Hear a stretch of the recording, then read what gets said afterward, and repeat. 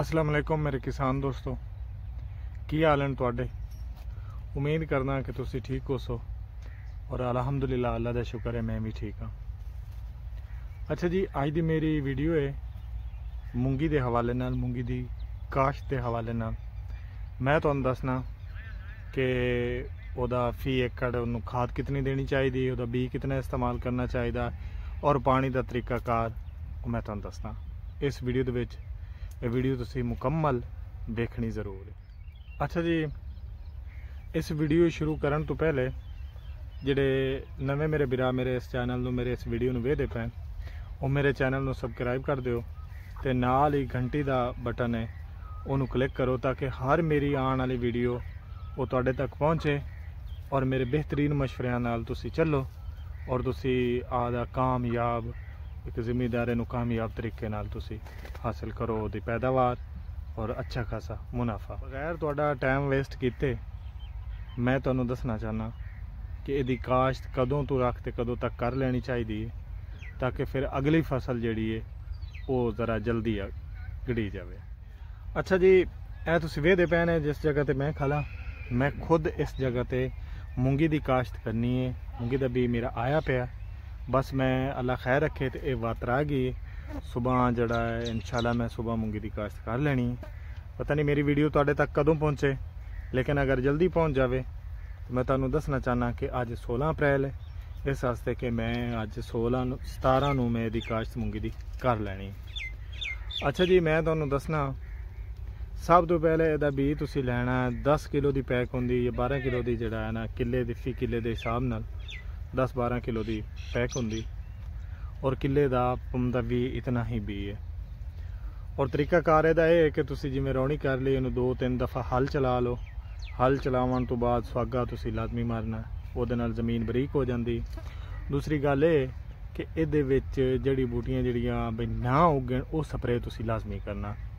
ਪੈਂਡੀ ਜਿਹੜਾ ਹੁੰਦਾ ਹੈ, ਮਤਲਬ ਜਿਹੜੀ ਬੂਟੀਆਂ ਮਹੀਨਾ ਨਹੀਂ ਉਗਣ ਦਿੰਦੀਆਂ।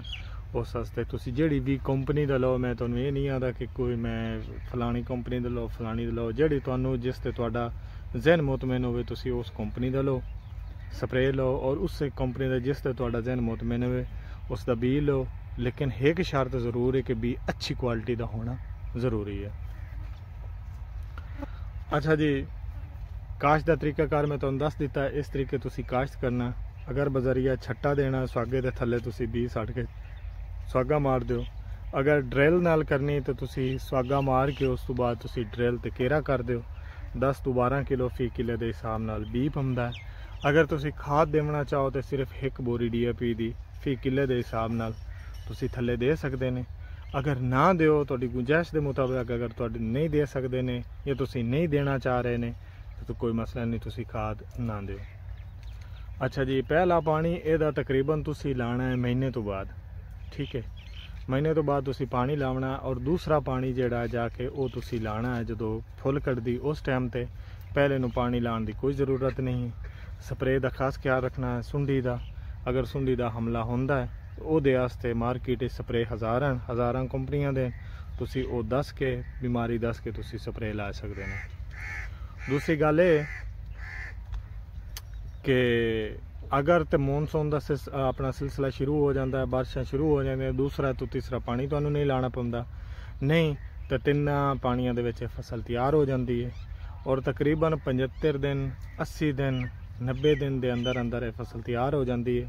ਔਰ ਤਿਆਰੀ ਤੋਂ ਥੋੜਾ ਦਿਨ ਪਹਿਲੇ ਅਕਸਰ ਪੱਤੇ ਪੀਲੇ ਹੋ ਜਾਂਦੇ ਠੀਕ ਹੈ, ਤੁਸੀਂ ਫਸਲ ਵਿੱਚ ਫਿਰ ਕੇ ਵੇਖ ਲੈਣਾ। ਅਗਰ ਤੁਹਾਨੂੰ ਮਹਿਸੂਸ ਹੋਵੇ ਬਿਮਾਰੀ ਦਾ ਅਟੈਕ ਹੈ, ਸੁੰਡੀ ਦਾ ਅਟੈਕ ਹੈ, ਤੇ ਉਹਦਾ ਬਾਜ਼ਾਰ ਜਾ ਕੇ ਕਿਸੇ ਵੀ ਕੰਪਨੀ ਦਾ ਤੁਸੀਂ ਸਪਰੇਅ ਲਾ ਲੈਣਾ, ਜਿਹੜਾ ਸੁੰਡੀ ਦਾ ਖਾਤਮਾ ਕਰੇ।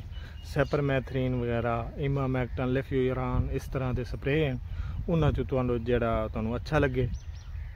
ਸੈਪਰਮੈਥਰੀਨ ਤੁਸੀਂ ਸਪਰੇਅ ਲਾ ਲੈਣਾ, ਉਹ ਆ ਕੇ ਸਪਰੇਅ ਤੁਸੀਂ ਕਰ ਦੇਣਾ। ਉਸ ਤੋਂ ਇਲਾਵਾ ਹੋਰ ਕੋਈ ਸਪਰੇਅ ਨਹੀਂ ਕਰਨਾ। ਅੱਛਾ ਜੀ।